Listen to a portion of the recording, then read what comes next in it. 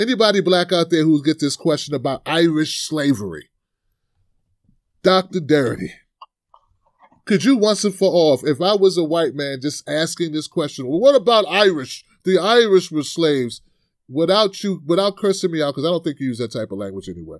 What would, how would you put me in my place? People, listen closely to Dr. Darity on this response. Hey folks, how you doing? My name is Tim Black. Welcome back to another great segment of the show. I have a great guest. He is the uh, Samuel Du Bois Cook Professor of Public Policy, African American Studies and Economics, and the director of the Samuel Du Bois Cook Center on Social Equity at Duke University. He served as chair of the Department of African and African American Studies, was the founding director of the Research Network on Racial and Ethnic Inequality at Duke. He's that and so many other things my friend Dr. Sandy Darity. Hey, Doc, how you doing? Fine, thanks. How are you? Thanks for having me on the show again. Well, absolutely, sir. It's a privilege to have you, and we're glad that you accepted the invitation. There's so much going on. I just want to jump into it, Doc. We were talking off camera, folks, and I said, Doctor, right now seems like a great time for these conversations because even white folks are paying attention to what's going on with black folks right now. Yeah, it's uh, it's a different moment from uh, any that I've experienced. Uh, but you know, because of a lot of the work that I've been doing recently uh, with Kirsten Mullen in our book From Here to Equality: Reparations for Black Americans in the 21st Century, uh, a lot of our work has been focused specifically on reparations. And uh, I don't think I've ever observed a moment in my lifetime where uh, national attention was drawn to reparations in the way that it is now. Uh, you know, I, I don't think it's ever I've ever seen any any moment like this before. Uh, and and I must say that uh, the the transition to people having a conversation about reparations as something to be treated seriously actually took place before the COVID 19 crisis and before the uprisings that were associated with uh, with with the murder of George Floyd, because I I never had seen a con- set of conditions like the ones that existed last year, hmm. uh, 2019, uh, where you actually had credible political candidates actually utter the term reparations. Um, and so uh, I'm not sure exactly what's going on entirely. Uh, but uh, I think that there is some recognition that uh, there is a debt that has never been paid, hasn't been paid for 155 years, and that the failure to pay that debt has had all types of repercussions for inequities, uh, lack of opportunity, disadvantages, greater uh, exposure to to death on the part of Black Americans today, um, particularly Black Americans who are descendants of persons who were enslaved in the United States. Uh, there seems to be greater recognition that that's that's a debt that needs to be paid. Finally, uh, we'll see what happens, but uh, it's it's it's a very different moment. Do you think it's George Floyd, the filming of the police brutality, and people connecting the dots, or you think it's more just a political uh, move or, or uh, you know, political situation. If I know that Marianne Williamson, she attended an ADOS meeting um, where she discussed it and she was supportive of it. I think it's it's a combination, but but when when you say a political situation, I assume yeah. you're meaning that there's some expediency on somebody's yeah, part. like like I think okay, I'll just be straight, simple yeah. and plain. I think that some folks were using the term reparations because they were basically caught off guard and had to respond. And some of the responses really aren't reparations. Uh, some people talking about things that really aren't reparations. When I think reparations, I think money or land ownership, something that kind of like rights the ship and kind of makes us, will never be whole, but at least tries to make us whole, as if we were participants and actual citizens who were wronged in this country. So I, I think that sometimes that they're just they're just saying things, doctor. Like they're not really, they're saying it for political points, expediency, like you just stated. Yeah, I, I, except I, I would say this that I think that the candidates who first started talking about reparations in 2019 uh, were doing so in a climate where it was not at all clear that there was any advantage for them doing so. Uh, and in particular, I would would highlight uh, Marianne Williamson, uh, who uh, who eventually had a conversation, I think, with uh, Antonio Moore or Tone Talks. Yes. over the question of reparations, specifically for for the ADOS community, uh, but she actually had been talking about reparations for many years uh, in some of her written work. Wow, I had no uh, idea. So, yeah. yeah, so she she was not really a newcomer to the conversation about reparations, and she's the only candidate who really tried to push the issue on the debate stage. Uh, and it's interesting to note that when she did, uh, Kamala Harris shifted the conversation to school desegregation. Mm. Almost immediately. Uh, but um, I, I, think that the weakness in Marianne Williamson's position was that she was willing to offer uh, a, a, an estimate of a monetary amount for a reparations bill. And I think it got as high as $500 billion for her. Uh, but from my perspective, that's that's far off the mark in hmm. terms of what the amount should be. And so that that's my primary criticism of her position. But uh, but I think she was uh, she was coming forward without any ulterior motives except her long-standing belief that this is the right thing to do. Yeah, I, I, totally, who, I totally agree. I'm sorry, yeah. I, I, agree with that exactly. I was, I, I meant everyone else besides. Oh Maria. yeah, no, well, well yeah, yeah. I'm going to come to everyone else. The the other person who I think uh, came forward in an authentic way was Julian Castro. Mm. Uh, because very early in the campaign, he said, uh, you know, this, this, this made complete sense. But he didn't have any detailed plan. And then there was only one other candidate who actually explicitly endorsed reparations. And that was uh, a little bit later, excuse me, a little bit later in the campaign season. It was Tom Steyer, who emerged, and that was a central point that he was making. But again, there were no specifics about what a reparations project should look like. Uh, virtually all of the others essentially endorsed uh, the legislation that had been introduced many years ago by John Conyers to establish a commission to study reparations and to advance proposals for reparations to Congress. Uh, under the under the rubric of HR 40. Okay, and uh, you know, fairly early in 2019, it became clear that Nancy Pelosi, who had said that she might support HR 40, was giving the candidates a signal that that was the safest way they could address the reparations uh, the reparations question and uh, and and virtually all of them did follow through in saying, you know, the Democratic candidates anyway, that they they were in support of uh, of HR 40. Um, there's uh, I don't know how far how deep a dive you want to take, but there's some really serious problems with HR 40.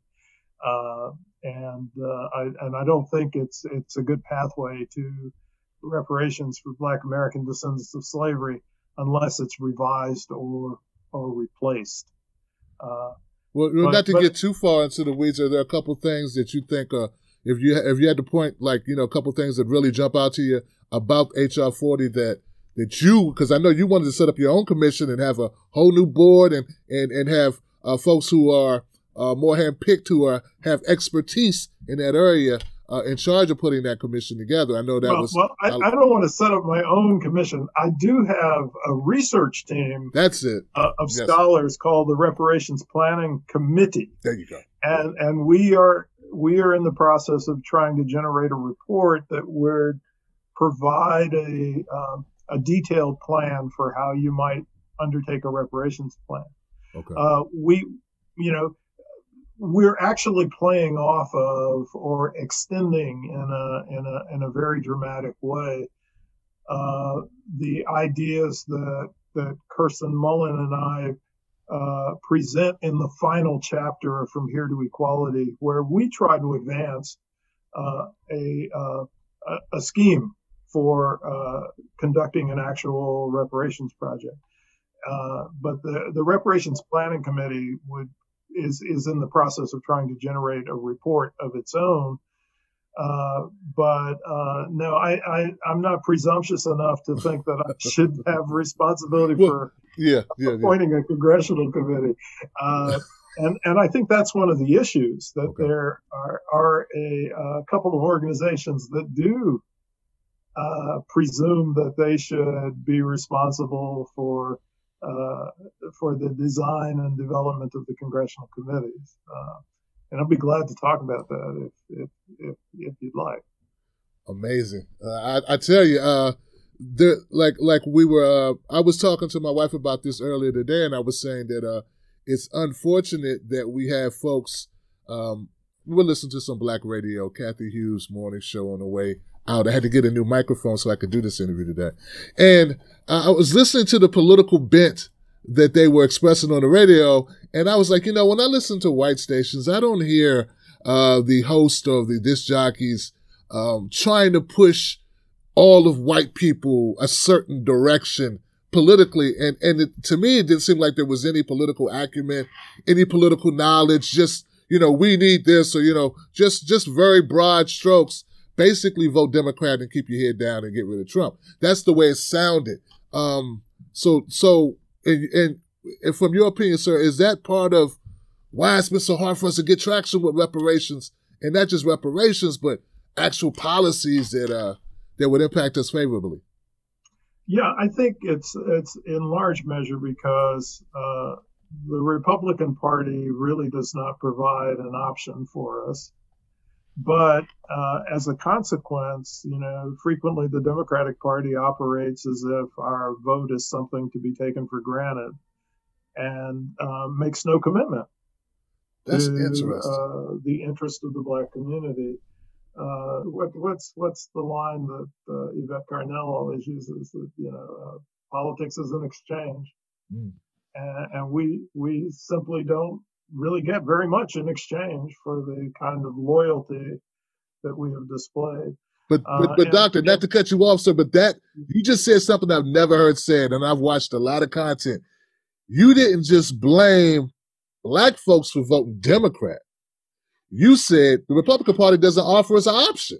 No, they don't. I mean, the Republican Party for many, many years now has long uh, been the party of Strom Thurmond, not the party of Abraham Lincoln. Mm. And uh, it it doesn't it, it's not a it's not a viable option for you to vote for uh, a bunch of overt racists.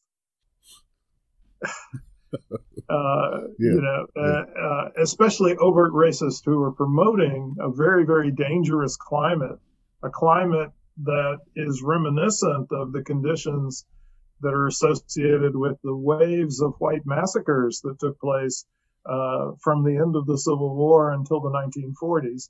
Uh, you know, I, I, think it's a very dangerous time with respect to uh, armed militias of whites and the kind of encouragement that they're receiving. I mean, how do you vote for a political party that has leadership that promotes that kind of behavior? Um, so, yeah, we're we're you know, it, it, it's back to that whole game of supporting the least of the two evils. Mm-hmm. Uh, but one of the evils is so intensely bad that the uh, the sheer mediocrity of the other side seems to look better. Uh, but this is really unfortunate uh, because uh, you know we we ultimately gain nothing from the process. It's very true, and and uh, and, and uh, instead we kind of turn on one another. It, it, until this election, I I was of the mind that we got to vote. You have to vote. You must vote. And I and I you know had some harsh words for people saying you know we should hold our vote. Now I've changed my mind. I'm not going to vote shame or uh, vote hotep, vote tep anyone who decides they don't want to vote. I would like to encourage people to vote down ticket. There, there's some people locally that you might want to support, but as for the you know, the top of the ticket, if, if you feel that you can't find anybody to represent you, who am I to say that, you know, I, I understand your pain. I get it. I, I think it's I think it's critical that we vote, and I especially vote for offices below the presidency, including very high offices. I mean, it's critical that we vote for the senators. Yes, uh, the United States Senate. Uh, so yeah, and and I think it's the neglect of the down ballot positions that made it possible for uh, there to be this wave of red legislatures across the country's states. Um, you know, I'm in a, the state of North Carolina, which has a red red legislature, and uh, uh, it, it, it's awful. And it's particularly awful in terms of what type of response you get in the midst of a, a coronavirus crisis, uh, where uh, there's a tremendous resistance to to putting resources in people's hands at a point where uh, where folks' economic situations are quite desperate. So, um, so yeah, I think definitely people need to vote, and I think they must vote uh, in an attentive way uh, to every position from their local judgeships or county commissioners up through the Senate. Uh, I'm not, uh, you know, I'm not going to tell them not to vote for the presidency, but I will understand if people choose not to do that. But I think it's imperative that they vote for all the other positions on the ballot. Absolutely, I 100% agree, and I I've been, I've been, I've been getting better on this issue. My, you know, per, speaking personally, I've been getting better on this issue, uh, because just being raised as someone who thought, you know, you know, you know the lines, doctor, you know, people died for us to vote and it's, it's, it's a privilege. Um, it's a, it's a right of a U.S. citizen. We need to take, you know, take advantage of those rights. Um, I, I, I don't know if you heard of also in having a right, it's a choice. Mm, yeah. It's a choice. Okay. I mean, we're we're not in a society where we are forced to vote. Hmm. or penalized not if you don't vote like or some other countries. for not voting not at least not penalized uh, by this by by any kind of governmental fee or the like. Uh, but we are in a society where there has been a long history and there continues to be uh, an effort to suppress our vote and that's something that we we need to uh, we need to continue to fight and uh, and that may be the stronger reason that I would give for uh, encouraging people to make the choice to vote mm. is because there is there is so much resistance in the present moment to our voting and there's a recognition I think on the part of uh, uh, of, of, of, many folks who are out there competing in the electoral uh, arena that if we don't vote, it will not just have an effect on the presidential election, but it will have an effect, an adverse effect, in my way of thinking, on on the uh, on the on the down ballot positions. Right. And it would be more likely to restore uh, red legislatures across the United States, uh, and that's something that's really, really uh, has has been really really dangerous. You know when you you know as we listen to that and think about that circumstance of the condition of voting and voter suppression in the United States, and you juxtapose it with what other countries, some other countries where you get penalized if you don't vote. Right. It kind of right. makes it kind of crystal clear what's going on here. I mean, people here get penalized for voting. People, That's there right. was a sister who got locked up for voting because she didn't realize that her voting rights had been taken away. So that's a different uh, polar opposite to what most, most other westernized countries and how they treat voting. Yeah, we still have so many states where uh, there are rules that restrict uh, the capacity of individuals who've been incarcerated from yeah. voting. And, uh, you know, since we have mass incarceration that's been directed disproportionately at black folks in the United States, particularly black men, uh, then it, it removes them from the electorate. Absolutely. And uh, and this is this is uh, you know this is intentional. Oh yes, yes. Yeah, when you spoke about red legislate, I meant to ask you, uh, could you break that down for me and other folks who might not understand exactly what that is? So when I say red legislatures, I mean legislatures at the state or municipal level that are controlled or dominated by the Republican Party, but particularly more specifically the uh, the the wing of the Republican Party that's associated with what we have called the Tea Party. Mm. So it's Tea Party Republicans who I'm talking about when I talk about red legislatures. Uh, you know, to the extent that they control the state government or to the extent that they control the local government, uh, you know, the consequences have, from my perspective, have been pretty pretty bad. Yeah, I was I was looking at that as well, and also something that I think most people don't focus on, and they should, is the number of conservative judges that Donald Trump has infused, has installed across the country and states. Uh, he has set records in the number of appointees of these conservative judges, and I think those will definitely negatively negatively impact um, folks, particularly black folks. I mean, yeah, and to uh, the extent that these these folks are comparatively young, uh, it means that there's a long term effect of their their appointments. Lifetime appointments. Yeah. yeah. So one of the reasons why I wanted to have this conversation, Dr. Darity, is you know Ice Cube, famous rapper, he recently put out a a, a contract or a I, I don't know what we what he would call it. I forget the exact term he used um, for Black America, contract for Black America uh, that he wants he wants white America or United States of America to get on board with. And there are like several pillars of that contract. It's it's short of reparations, but it's very definitive items that he felt policy wise that need to be implemented if black folks ought to have an opportunity to to build wealth and, and compete. And actually, as Yvette might say, survive. Because we're talking about survival at this point. Um, I don't know if you had the opportunity to look at it, but are there some policies short of reparations that you think we should be building momentum behind it and supporting in your work? I know you cover some some issues. I um, am, you know, there are a couple of things that come to mind. One is uh, Malcolm X's famous quotation about and you know, somebody who's had a knife plunged into their back, and uh, he talks about uh, you know it being pulled out six inches, then it being pulled all the way out, and and he he says that you know obviously that's that's that's desirable rel- rel- relative to having it in your back, but he says it's not the same as healing the wound. Mm.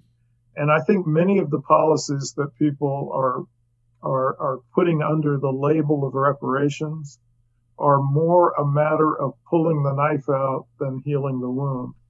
And so when I think about reparations, I think about reparations as uh, as healing the wound.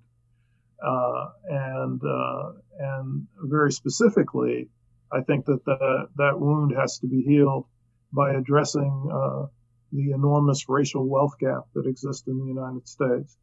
Uh, to the tune of uh, a situation where Black Americans are 13% of the U.S. population, but only have about 2.5% of the nation's wealth. And I think that, that that share of the nation's wealth needs to be brought into proportion with the black share of the population, at least. Uh, and that should be a primary target of a, of a reparations project. Uh, and and that's what's a, re- a, prerequisite for moving the direction of, of healing the wound. Uh, I think that a lot of the items that are on uh, on on Ice Cube's contract are more a matter of uh, of pulling the knife out, mm. which is essential. But uh, then they are of, of healing the wound, and so I don't really see the contract for America at this at this time, uh, including a, a true effort to achieve reparations. No. no. But uh, but uh, you know there there are lots of things that are on that on that itemized list that I think are things that are are are, are quite desirable to do. Uh, I do have one reservation though about the way in which uh, the contract is framed because I think uh, at the outset there's a, a description of a set of responsibilities that black people have to fulfill and uh, I think, unfortunately, the way that is worded, it plays into the notion that black people are in some way responsible for the kind of conditions that we are confronted with, that it's a consequence of our own behavior. And, uh, and, and, and that, that section of the contract says that we have to make a commitment to change our behavior. Uh, and I think that much of our behavior is actually uh, actions that we take as a consequence of the conditions that we are faced with. And if we really want to talk about changing things, we've got to change those conditions rather than uh, change the way in which black people behave. In fact, I would argue that it's fairly remarkable uh, that we have managed this degree of survival under these circumstances to the point where, you know, actually people talk about black people lacking motivation. Uh, in fact, if you look at the evidence, uh, young black people from a home with a similar level of income as a white home actually get more years of schooling mm. and more credentials than their white peers. And so, um, uh, you know, I, I've, I've, never been fully, I've never fully understood, you know, people say black people are anti-education or they're unmotivated. Uh, it's not really consistent with my personal observation, but you know, I want to go beyond anecdote. It's not evident at all in the types of data that we normally look at. Yeah, I, I recently was had a phone caller who had a similar statement. You know, the same old. I'm sure you heard it. Well, you know, black people can do anything they want to do. Look at look at Obama. You could be president, and uh, just like just pulling things out of thin air, just that don't apply. Yeah, you know, you mean so um, they don't make any tangible. So I brought up the fact that you know, well, black women are very educated as a group, as a subgroup, very educated, most education of than any other group in the United States. If not, if not correct about this, correct me, doctor. But that's no, my uh, understanding. Uh, they're they're not the most educated, but they have the highest rate of increase in educational. That's what it is. Thank you, sir. Yeah, yeah, yeah. And uh, but they de- definitely have the most school debt. So that yes. we do know. Yeah for trying yeah, to ascend that ladder, trying to to better themselves, and and and we know that there's discrimination in hiring practices, everything from if your name sound too black to what your zip code is. This all exists. There's data, ex, you know, exposing all of that, but still, uh, this I think it's a, a lack of knowledge. I, I, would like to hope that some people just lack knowledge and information is why they they, they rely on stereotypes and BS. Yeah, well, I, I was going to add, you know, you make an excellent point about uh, the issue of student debt. Uh, student debt in the black community is actually another indicator of the high degree of motivation to try to pursue educational attainment. Uh, we don't have the same kinds of resources to pay for education, but yet people are still doing their best to try to uh, obtain additional education. Uh, and, and, we found some evidence in one of the studies that we did uh, at, at, the Cook Center. Uh, we found that um, black parents who provide support for their sons and daughters' higher education have uh, about uh, one third of the net worth at the median of white parents who provide nothing for their sons and daughters' education. So this is a classic case of us doing more with less. And, uh, you know, I, I think it would be, uh, you know, I, I think we should free our imaginations to think about how much more we could accomplish if we had the kinds of resources uh, that uh, that might be associated with what a reparations project should give us. You know, I'm getting the distinct feeling that you believe that if we get this bite at the apple, maybe we should take the biggest bite possible as opposed to what we think will be, you know, uh, I don't know, which will have least resistance. Like if yeah. we only get one shot, maybe maybe we should load up and, and make it a shot that really counts if we want to slay the dragon, so to speak. Well, and if you if you settle for less, you'll never get what you deserve. True, true. Well, well, well Doc, people, people I, say, yeah. "Well, you, you got it. It's been done." Yeah. right. Yeah, you got what you wanted. You got Barack. Look at, I'm still hearing about that. You got Barack. It's eight years ago. You got Barack. No, no mind that you know had a white mom. It's from Hawaii and went to Harvard and law school and, and, and you know, and, uh, well, but I, I think more important is the question of what policies did he support? Oh, yeah. Okay. And, and I think that's the key issue. And, uh, the problem is, of course, that, uh, that he had a playbook that said, uh, I'm not going to do anything specifically for black people that amounts to providing them with a significant amount of additional resources. Uh, the only project that I think he took up that was supposed to be black specific in some way was my brother's keeper. Uh, and, and that was predicated on a view that you are, uh, you're correcting the, the, the, flaws in young black men yeah. as opposed to correcting the flaws in the conditions that they're faced with. And so, uh, so that, that to me is, is my complaint is actually, about not not so much about his his personal ancestry, et cetera. Right. It's a question of what what he was in favor of doing, and he was not in favor of doing the sorts of things that I think really would have improved the lives of black people in the United States. And, and it furthers the pathology, this idea that there's something pathological about black folks as opposed to the environments, as you just stated. The environments that you're raised in, the lack of resources, the bad schools, lack of job opportunities, all these things combined together to, to get this mix that we find ourselves in as opposed to it's something innate in black men that uh, particularly that that makes us um, unable to achieve. He played right and, and into still, that. Uh, you know, despite all of that, uh, you know, as I pointed out, for a given level of income in your household, we get more years of schooling and we earn more credentials than uh, comparably situated white folks. That's uh, undeniable, undeniably interesting, and, and something that's the thing, Doctor. We don't have we don't have Dr. Darity on MSNBC giving people real information, real knowledge. We have we have people who kind of who just read that teleprompter and just uh just go. Um, well, that's what they do. They just they just read the teleprompter. Whatever was on the thing, and they worry about self. They don't worry about the collective. This, you know, they, they just it's like they're just worried about uh what what they can get and if they're going to be okay. Instead of they worry about doing good instead of you know doing well for others. They worry they worry about living well instead of doing good for the collective. Is has been what I've seen. So.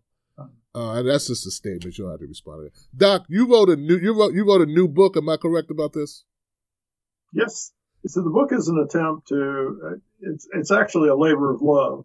Uh, this is a book that we wrote for the purposes of trying to make the case for reparations for Black American descendants of uh, chattel, U.S. chattel slavery. And uh, it's also uh, unique insofar as the final chapter is an attempt to elaborate on how you might actually conduct a reparations project. Uh, but uh, some things that I think are distinctive about the book is, first of all, we make the case for reparations not just on the basis of the the horrors of slavery, but also uh, we make the case on the basis of the harms and damages that were associated with nearly a century of uh, uh, of legal segregation in the United States, coupled with white mob violence that occurred on a continuous basis that took black lives and destroyed or appropriated black property. Um, and so, you know, I think a lot of people don't recognize that since the United States was formed in 1776, the years of the black codes and legal segregation actually were longer than the years of slavery. Mm. Uh, and then we also say that you have to include uh, on your uh, on your bill of particulars for reparations, you have to include the atrocities that have occurred since the passage of the Civil Rights Act. This would include mass incarceration. It would include uh, police executions of unarmed blacks. Mm-hmm. It would include uh, discrimination in housing, credit, and employment markets. And then, of course, it must include the enormous racial wealth differential that we observe and that, that we argue in the book is the is the uh, is the gap that has to be bridged by a reparations project. I, would say the other third third major theme in the book is the notion that the United States has had a number of opportunities to become a society that was fully inclusive of Black Americans as citizens with comprehensive rights. Uh, but at every crossroad where that opportunity was uh, was available, uh, the wrong decision was made. The the wrong fork was taken in the road.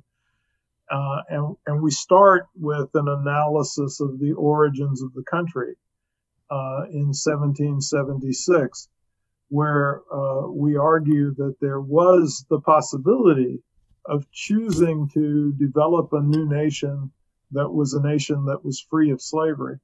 And that choice was not made. Instead, the United States became a slave republic. Uh, we also point out that uh, it was possible to uh, eliminate slavery without conducting a civil war. Mm. Uh, and we talk in chapter five of the book at length about the option of compensated emancipation.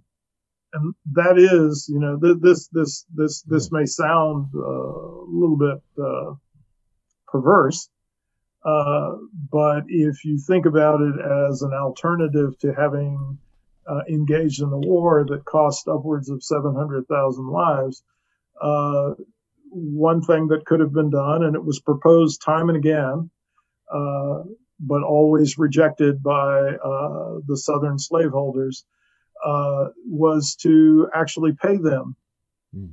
a sum of money per enslaved human being to uh, emancipate those persons. So bring about an end to slavery, but do it by paying the slaveholders off. Um, and uh, and the slaveholders were never willing to seriously consider that option. So the nation goes to war.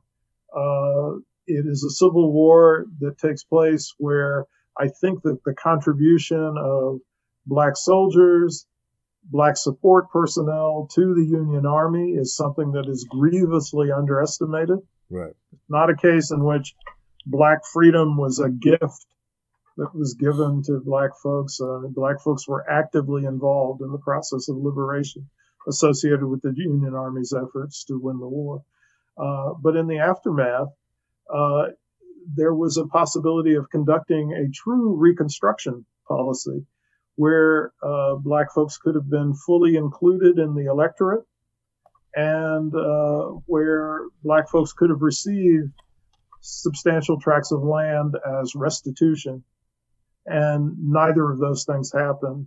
Instead, there was a white terror campaign that resulted in the restoration of conditions throughout the South that were as similar to slavery as the uh, white authorities could possibly make them. And so there's another fork in the road that was lost.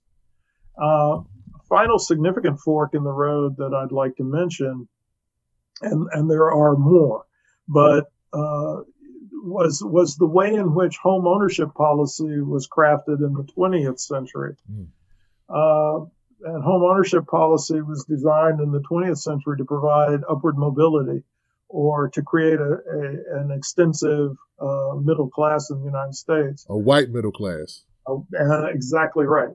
A white middle class because uh, there were systematic uh, efforts to exclude blacks from having access to the same opportunities to become home buyers.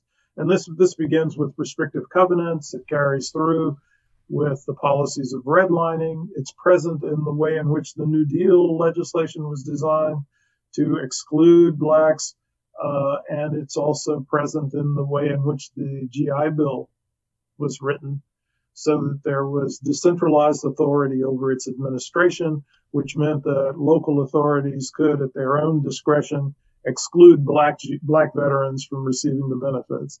Uh, and and that's exactly what happened. Uh, there was an extensive process of excluding blacks from receiving the benefits, particularly the benefits that were associated with subsidies for home ownership. Deliberate, systemic, strategic thought out, not some ranting hillbilly in front of a Walmart or a Dollar General yelling out expletives in the N word. We're talking about well to do white men in suits, uh, elected officials deciding the outcome for black people to be dire. So when we had these conversations and people make these these claims, they, they're always coming from a position of of uh, it, well, they tend to come from a position of the individual. Um, you know, everyone's not racist. We're talking about system systemic racism, which is a totally different animal altogether. And, and I, once again, um, I've learned that a lot of people don't understand. They just have not been informed. It's not taught in the school, doctor. They they they're not you know on your Twitter timeline. They should be, and, and they're not aware of these things. And, and and then I get to deal with them every Tuesday and Friday night when they call the show and say the dumbest things, the most ignorant things about black people is if black people chose the situation. Tim. Hey. Is that me? Hey, yes, sir. How are you, sir? I'm good, man. Who's this? Uh, my name is Bill, and I'm from uh, Georgia. And I got to give shout out to uh, Spencer, a 32 year old engineer. You know why he's an engineer? Because he didn't buy into the Democratic lie that black people are victims. he knew that if he puts work in, he could become an engineer. You know why you're? Because you didn't buy into the lie. That is the biggest lie perpetrated against the black people in America, and it's by the Democrats that you all are victims.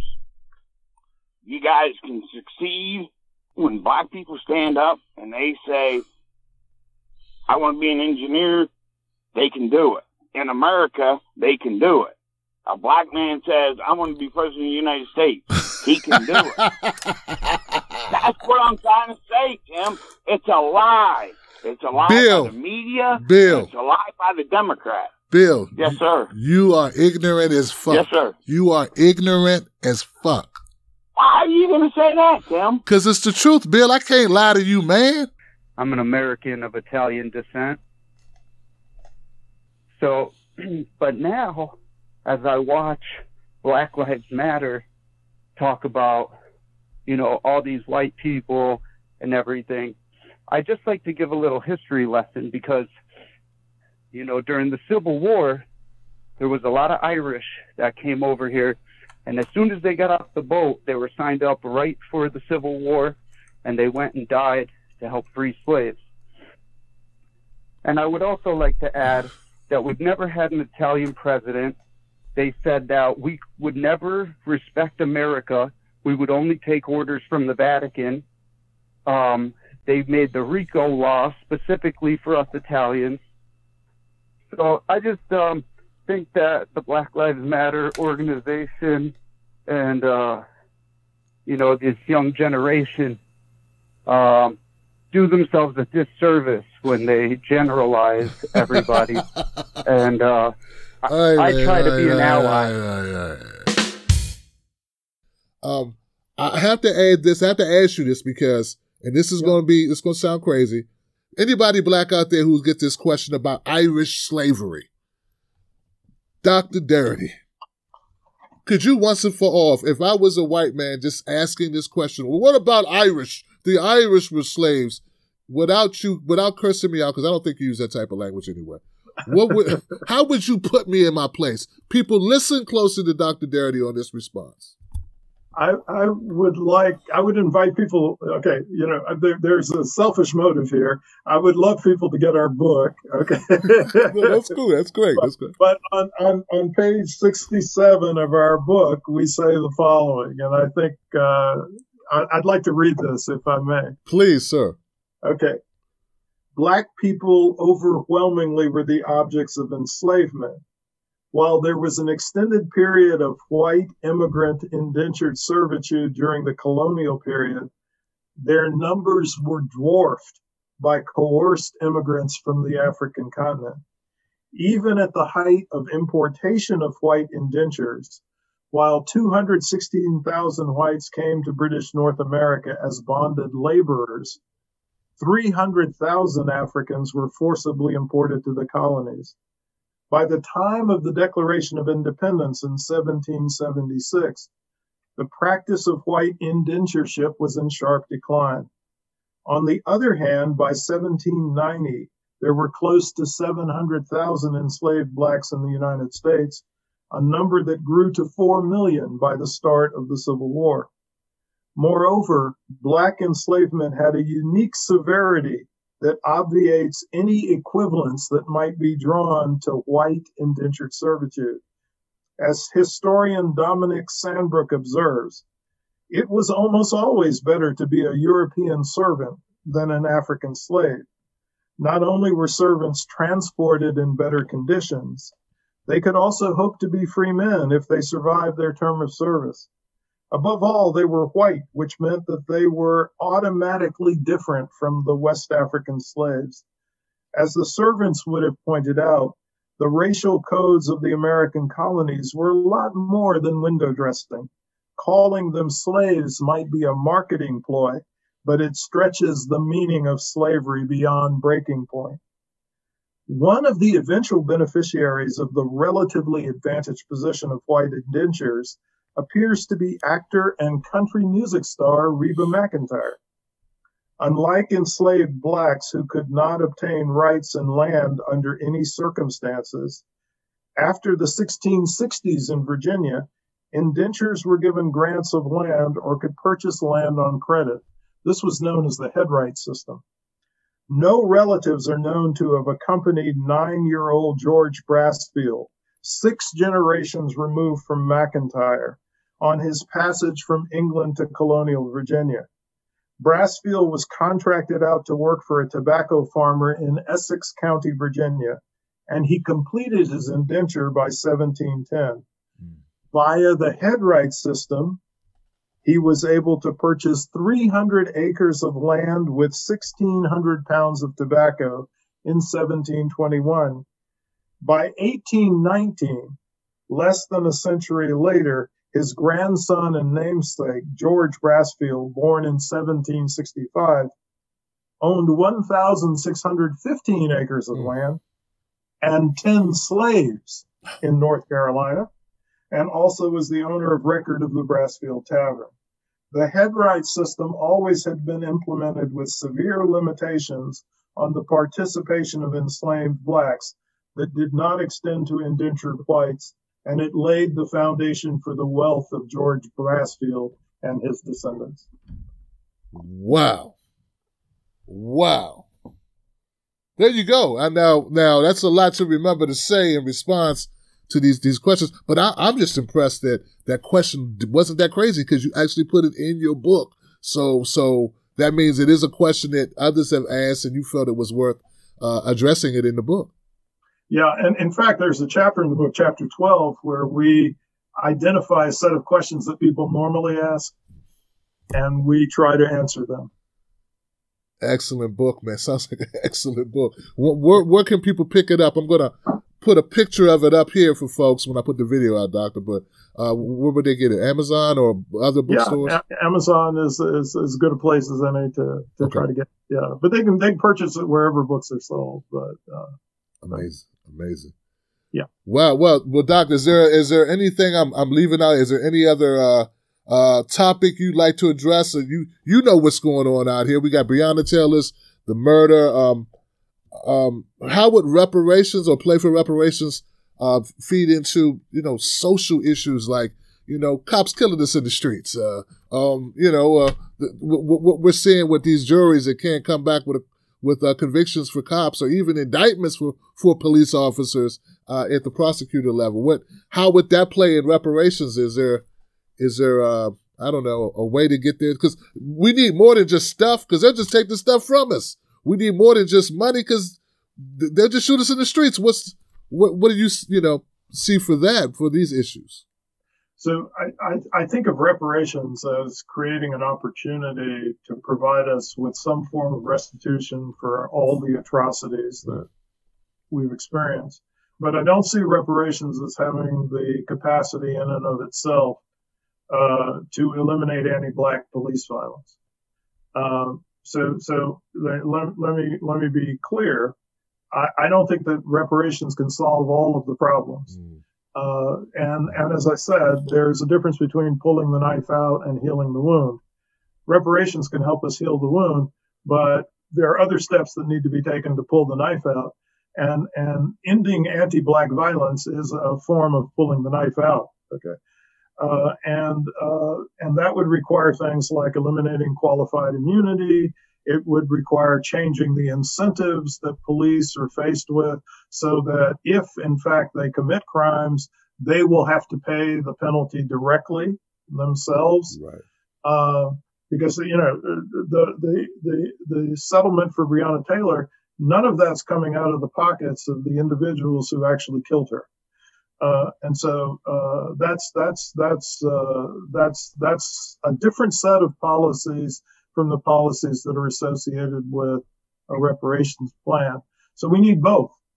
Uh, we need both to pull the knife out, and we need to heal the wound. Uh, but our book is primarily about what steps can be taken to heal the wound. Amazing work, amazing conversation, Dr. Darity. I appreciate you so much taking time out once again and sharing with us. Uh, where will people go to find out more about you and, and to follow your work? Uh, they can uh, they can follow me on Twitter at, at Sandy Darity. Uh, they can also go to uh, the Samuel DuBois Cook Center's website and look at our publications and our news reports uh, which uh, contain a lot of the uh, materials that I've worked on, that I've worked on collaboratively uh, with a number of scholars.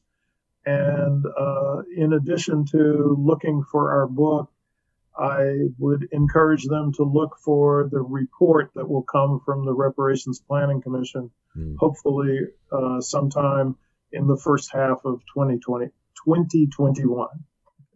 I just want to add, no disrespect to the Reparations Planning Commission. I didn't mean to to, to say that you guys weren't uh, that this was a unilateral uh, commission, written, you know, driven by one individual. Or just uh, it's yeah. my mistake. but uh, thank you once again, Doctor for for joining me, man. I really appreciate it. And right now is the time. I think we should we should all voices, all everybody should uh, do what they can to get the word out and, and put some pressure on our lawmakers to make this happen. Yeah. Well, thank you so much for having me on, Tim. It's uh, it's a great program, and I really enjoy talking to you. Thanks, brother. All right, folks. Thank you for watching this video, and please share it with a friend. And don't forget, pick up the book by Dr. William A. Darity Jr. and A. Kirsten Mullen. From Here to Equality, Reparations for Black Americans in the 21st Century. That book will be wherever good books are sold. Also, don't forget to become a Patreon for the Tim Black Show at patreon.com. Tim's Take Live. Your support keeps that content rolling. Wolfpack.